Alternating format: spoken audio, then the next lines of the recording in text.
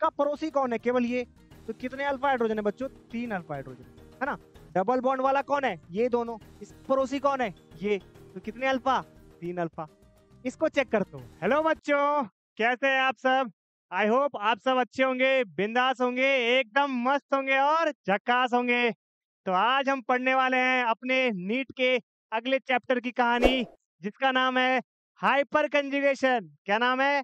Hyper conjugation बच्चों, हमने अब तक जीओसी के अंदर जो भी टॉप चैप्टर पढ़े हैं, पहला कौन सा था? इंडक्टिव इफ़ेक्ट एक रेजोनेंस अब तीसरा क्या है बच्चों? हाइपर कंजुगेशन बहुत ही आसान टॉपिक होता है।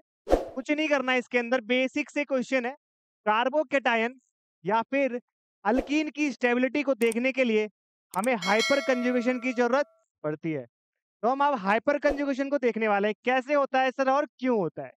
तो ध्यान से सुनना कहानी। देखो, हम स्टेबिलिटी रेजोनेंस की देख चुके हैं, हम स्टेबिलिटी इंडक्टिव इफ़ेक्ट की देख चुके हैं। अब हमें क्या करना है बच्चों? हाइपर कंजुगेशन की स्टेबिलिटी को चेक करना है, ठीक है? देखो हाइपर कंजुगेशन कुछ होता नहीं है सिंपल है। डीलोकेलाइजेशन ऑफ़ पाई इलेक्ट्रॉन जो अपने पाई इलेक्ट्रॉन है ना, उसकी क्या होनी चाहिए बच्चों? डीलोकेलाइजेशन होनी चाहिए, यानी कि एक ऑर्बिटल से दूसरे ऑर्बिटल में इलेक्ट्रॉन की शिफ्टिंग होगी। दोबारा बताऊँ एक ऑर्बिटल से दूसरे ऑर्बिटल में। समझ में आया? दैट मीन्स जहाँ पे ज़रूरत होगी, वहाँ पर इलेक्ट्रॉन ट्रांसफ़र होगा। ये क्या करता है? पाई इलेक्ट्रॉन की शिफ्टिंग करता है। किसके साथ बच्चों? सिग्मा बॉन्ड के साथ। किसके साथ? सिग्मा बॉन्ड के साथ। तो इसको कहते हैं हम हाइपो कंजुगेशन क्या कहते हैं बच्चों? हाइपर कंजुगेशन एग्ज़ाम्पल देके समझाता हूँ। मान लो कि मेरे पास ये एक कार्बोकेटायन है। इस कार्बोकेटायन में, जैसे कि ध्यान से आप देखते हो, कार्बन है, इस कार्बन की चार वैलेंसी कंप्लीट है, हाइड्रोजन हाइड्रोजन हाइड्रोजन। इस कार्बन की तीन ही वैलेंसी है this is sp2 hybridized and this is sp3 hybridized ध्यान से सुनना बच्चों, ये sp2 है और ये sp3 है। तो अब क्या होगा, हमारा मॉलिक्यूल sp2 से एसपी थ्री में क्या करना चाहेगा? तो होगा क्या, ये जो अल्फ़ा हाइड्रोजन है ना अल्फ़ा हाइड्रोजन, ये इलेक्ट्रॉन को डोनेट करेंगे। कहाँ डोनेट करेंगे? पी के वैकेंट ऑर्बिटल में, पी के वैकेंट ऑर्बिटल में। तो यहाँ से ये एच ए क्या करेगा? अपना इलेक्ट्रॉन दे के जाएगा। किसको? कार्बन को। और कार्बन दोबारा से क्या करेगा? डोनेट करेगा। कहाँ डोनेट करेगा बच्चों? पी के वैकेंट सेल में। समझ में आया? तो एच ए ने अपने इलेक्ट्रॉन दिए, फिर एच बी भी दे सकता है और एच सी भी दे सकता है। कहने का मतलब है कि यहाँ पर तीन हाइपर कंजुगेटिव स्ट्रक्चर बनेंगे बच्चों। कितने बनेंगे? तीन। क्यों बनेंगे? क्योंकि यहाँ पर अल्फ़ा हाइड्रोजन कितने हैं? तीन है। One, two, three. समझ में आया? तो तीन अल्फ़ा हाइड्रोजन, तीन स्ट्रक्चर। कैसे? आओ देखते हैं। पहला तो ये देख लिया हमने एच ए गया हमारा। यदि सपोज़ करो कि एच बी जाता हमारा तो कैसा बनता बच्चों? यहाँ से ये मेरे पास एच ए तो था ही, ये एच बी हमारा चला गया तो क्या बचा? एच ए और एच सी और ये क्या क्रिएट कर रहा है? अपना डबल बॉन्ड ठीक है? तो यहाँ से क्या जा रहा है बच्चों? एच बी जा रहा है बाहर एज अ पॉजिटिव आयन बन के समझ में आ गया आपको? कोई दिक्कत है? कितना आसान है? एक बार आपने एच ए को बाहर किया, एक बार आप एच बी को बाहर करोगे और सिमिलरली एक बार आप एच सी को बाहर कर दोगे, है ना? ए बी और सी तीनों मिलके ट्रांसफ़र हो गए। किसके पास?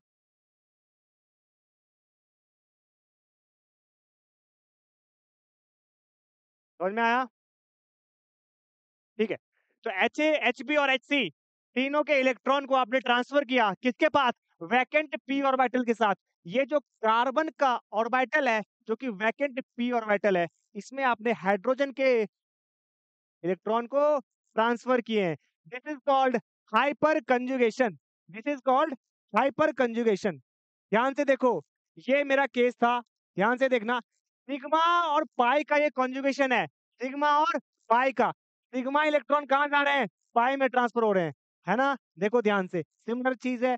जितने अल्फ़ा हाइड्रोजन उतनी हमारे पास हाइपर कंजुगेटिव स्ट्रक्चर समझ में आ गया?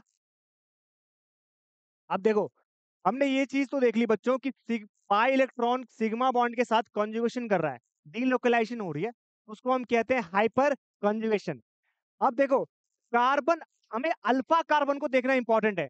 अल्फ़ा कार्बन क्या होते हैं? तो देखो, जो फंक्शनल ग्रुप होता है ना उसके जो नेक्स्ट कार्बन है, उसको अल्फ़ा कार्बन कहते हैं। सर, आप ये क्या कह रहे हो? मैं ये कह रहा हूँ बच्चों जैसे मान लो ये मेरे पास फंक्शनल ग्रुप है carbon C O O H carboxylic acid मैंने ऐड कर दी। इसमें मैं लिखता हूँ सी एच थ्री तो मेरे पास फंक्शनल ग्रुप क्या है बच्चों? सी ओ ओ एच है। This is called functional group carboxylic acid. अब इसके फंक्शनल ग्रुप के पास वाला, बिल्कुल ही पड़ोसी, इसका पड़ोसी कौन है? यही तो है। एक ही तो बचा। इस कार्बन के कितने बॉन्ड है बच्चों? एक, दो, तीन। यदि ये अल्फ़ा कार्बन है, यदि ये अल्फ़ा कार्बन है तो इसके हाइड्रोजन को हम कहेंगे बच्चों, अल्फ़ा, हाइड्रोजन अल्फ़ा, हाइड्रोजन और अल्फ़ा, हाइड्रोजन। कहने का मतलब है इसमें कितने अल्फ़ा हाइड्रोजन है? तीन तीन अल्फ़ा हाइड्रोजन प्रेजेंट है है ना? One, two and three. समझ में आया? चलो, जैसे मान लो कि ये हमारा सिंपल सा कॉन्जुगेशन कैसे हो रहा है? देखो, वैकेंट ऑर्बिटल से हमारे पास कहाँ जा रहे हैं? इम्पटी ऑर्बिटल में एक कॉन्जुगेशन ट्रांसफ़र हो रही है। एक पाई बॉन्ड बन रहा है। दैट मीन्स हमारा पैरेलल ओवरलैपिंग हो रही है, साइडवेज ओवरलैपिंग हो रही है, ठीक है? तो ध्यान से देखो। हम क्या करने वाले हैं? अल्फ़ा हाइड्रोजन को देखने वाले हैं। कहाँ पर? अल्फ़ा हाइड्रोजन की वैल्यू ज़्यादा है और कहाँ पर? कम है। ध्यान से देखना। मान लो कि मेरे पास ऐसा कोई क्वेश्चन है C H three C H two positive. मैं आपसे पूछता हूँ बच्चों, इसमें कितने अल्फ़ा हाइड्रोजन है? और सपोज़ करो एक ऐसा क्वेश्चन है कि मैं इसमें पूछ रहा हूँ आपसे कि कितने अल्फ़ा हाइड्रोजन है? तो आप क्या बोलोगे कि सर पॉजिटिव चार्ज यानी यहाँ पर कोई फंक्शनल ग्रुप अटैच रहा होगा? वो चला गया तभी तो पॉजिटिव है। इसके पास वाले कार्बन को हम क्या कहेंगे? अल्फ़ा कार्बन और इसके हाइड्रोजन को क्या कहेंगे बच्चों? Alpha hydrogen. अरे झूठ मत बोलो, अल्फ़ा हाइड्रोजन होगा कि नहीं होगा? तो यहाँ पर कितने अल्फ़ा है बच्चों? थ्री अल्फ़ा एच और यहाँ पर कितने अल्फ़ा हैं? तीन तो ये हो गए और तीन ये हो गए। टोटल छह अल्फ़ा एच समझ में आया? अल्फ़ा हाइड्रोजन गिनना सीख गए ना? तीन यहाँ यहाँ। समझ में आया क्या? फंक्शनल ग्रुप का बिल्कुल पड़ोसी देखना है हमें। कोई डाउट है यहाँ तक बच्चों? चलो। तो अब जो होता है ना कि हमें जब स्टेबिलिटी चेक करनी होती है अल्कीन की तो हम क्या देखते हैं? नंबर ऑफ़ अल्फ़ा हाइड्रोजन देखते हैं। या फिर हमें कार्बोकेटाइन की स्टेबिलिटी चेक करनी है। फिर हम नंबर ऑफ़ अल्फ़ा हाइड्रोजन ही चेक करने वाले हैं। ठीक है? अब ध्यान से देखना। सपोज़ करो कि मेरे को स्टेबिलिटी पूछ दी गई कि आपके पास ये कार्बन है, इसमें हमने क्या करा?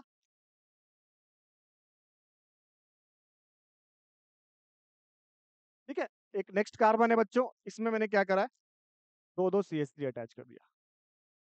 और एक कार्बन में मैंने क्या करा? एक ही सी अटैच करा अब मैं आपको बोल रहा हूँ this is A this is B and this is C ये तीनों में सबसे ज़्यादा स्टेबल कौन है?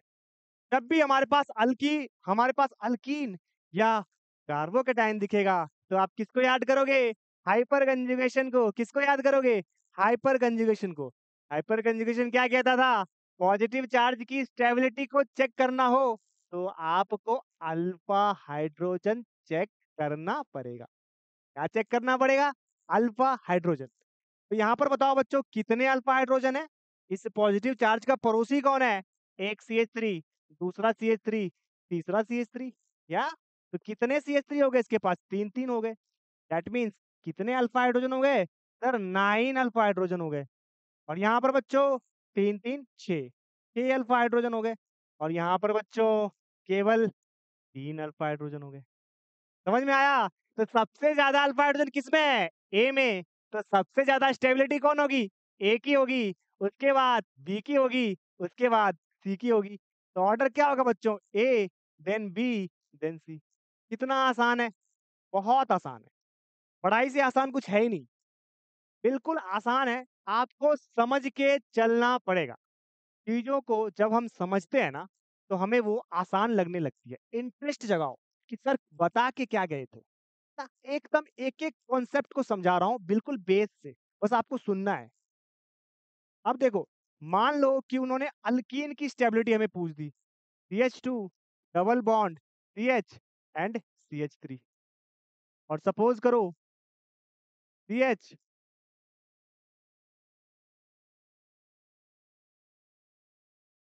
double bond C H two और यहाँ पर मैंने एक डाल दिया। सी एच थ्री और यहाँ मैंने एक डाल दिया है सी एच थ्री ठीक है? अब आप मेरे को बताओ this is A and this is B मुझे ए और बी की स्टेबिलिटी चेक करनी है। तो मेरे को ध्यान से एक बार बताओ ए में कितने अल्फ़ा हाइड्रोजन है बच्चों? ए में आपके पास केवल तीन अल्फ़ा हाइड्रोजन है। केवल तीन अल्फ़ा है, क्योंकि ये डबल बॉन्ड है और ये भी डबल बॉन्ड है। इसका पड़ोसी कौन है? केवल ये। तो कितने अल्फ़ा हाइड्रोजन है बच्चों? तीन अल्फ़ा हाइड्रोजन है है ना? डबल बॉन्ड वाला कौन है? ये दोनों। इस पड़ोसी कौन है? ये। तो कितने अल्फ़ा? तीन अल्फ़ा। इसको चेक करते हैं। यहाँ पर डबल बॉन्ड कौन है? ये भी है और ये भी है। तो हमें दोनों को चेक करना पड़ेगा। क्या इसका कोई पड़ोसी है? नहीं है, सर। ये तो बिल्कुल अकेला है। ठीक है? तो इसका कोई पड़ोसी है ही नहीं। तो यहाँ पर तो लगेगा ही नहीं। इसके पड़ोसी को ध्यान से देखो। इसके कितने पड़ोसी हैं? दो दो पड़ोसी हैं। तो एक पड़ोसी के पास तीन अल्फ़ा और दूसरे पड़ोसी के पास तीन अल्फ़ा। टोटल कितने अल्फ़ा? सर, छह अल्फ़ा। क्या बात कर रहे हो? समझ में आ रहा है? सब कुछ समझ में आ जाएगा, डिजिटल। ठीक है? यहाँ पे छह अल्फ़ा, यहाँ पे तीन अल्फ़ा। तो किसके पास? ज़्यादा पैसे, यानी किसके पास? ज़्यादा अल्फ़ा। तो यानी बी के पास, क्योंकि बी के पास ज़्यादा अल्फ़ा है। तो स्टेबिलिटी किसकी होगी बच्चों? बी की। अरे, समझ में आया? सब समझ में आएगा। तो दोस्तों, ध्यान से सुनना। एक एक चीज़ को एक्सप्लेन करना इंपॉर्टेंट है, ठीक है? देखो, मान लो मुझे इसकी स्टेबिलिटी पूछी गई है तो कंपाउंड के अंदर जब हमारे पास बॉन्ड लाइन फॉर्मूले पूछे गए हैं, यानी कि ऐसे कंपाउंड जिसमें कार्बन की सारे एटम्स को इंडिकेट नहीं किया जा सका। तो मान लो कि यहाँ पर मेरे पास कार्बन होता और यहाँ पर भी कार्बन होता और यहाँ पर भी कार्बन, यहाँ पर भी कार्बन और यहाँ पर भी कार्बन। बॉन्ड लाइन में यही होता है।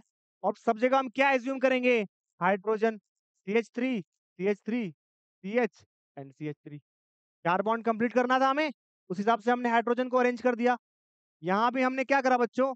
हाइड्रोजन को अरेंज करा है। यहाँ भी हमने हाइड्रोजन को अरेंज करा है और यहाँ भी हमने हाइड्रोजन को अरेंज करा तो अब आप मेरे को एक बात बताओ कि ए और बी में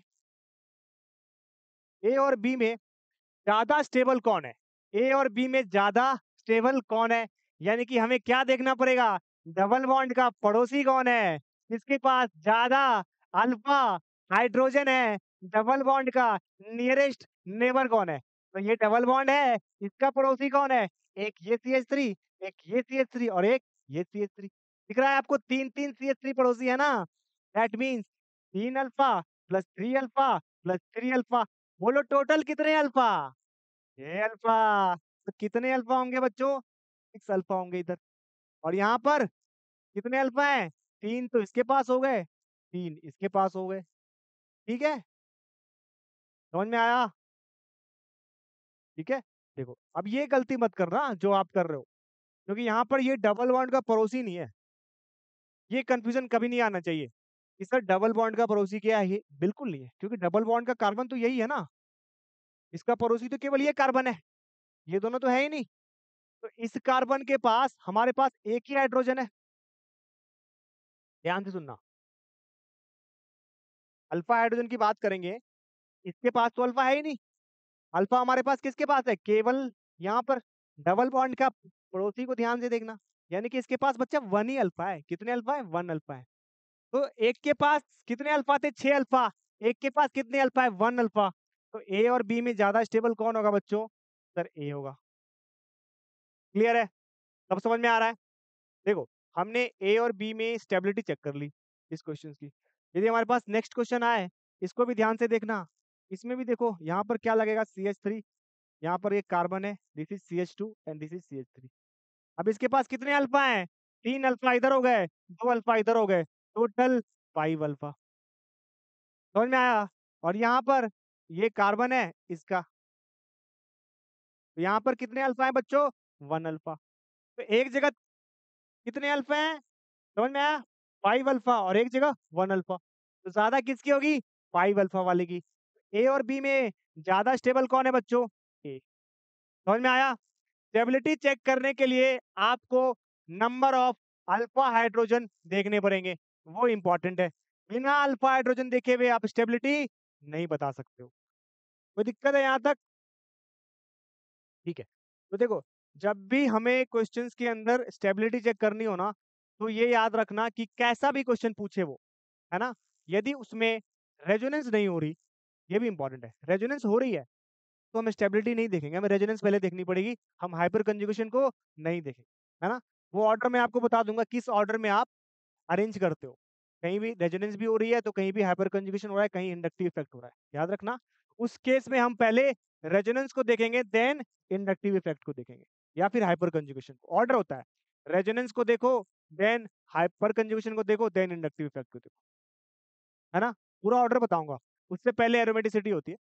बट ये हमने पढ़ा है। ये ऑर्डर मैं आपको पूरा बताऊँगा कैसे होता है। जैसे एक क्वेश्चन देता हूँ बच्चों, मान लो कि उन्होंने एक हमारे पास ये एक ऐसा क्वेश्चन है और एक ऐसा क्वेश्चन है।